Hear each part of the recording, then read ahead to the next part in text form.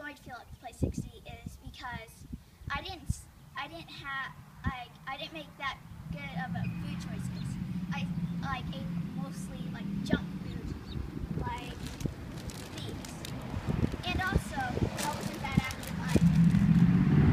But when I joined Fuel Up to Play 60, I started to make healthier food choices, such as fruits vegetables. And also, I started uh, joining sports as well. I do cheerleading.